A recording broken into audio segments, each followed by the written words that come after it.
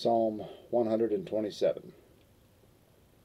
Except the Lord the house will build, vain is the builder's care and pain.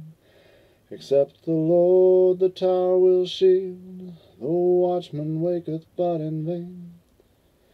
Vain is your care who early rise, in haste and lay you down so late. Still on the favourite of his eyes He bids sweet slumber freely wait. Behold a portion from the Lord, Our children dear, a meed divine, The fruitful womb as arrows stored, In a strong warrior's hand they shine.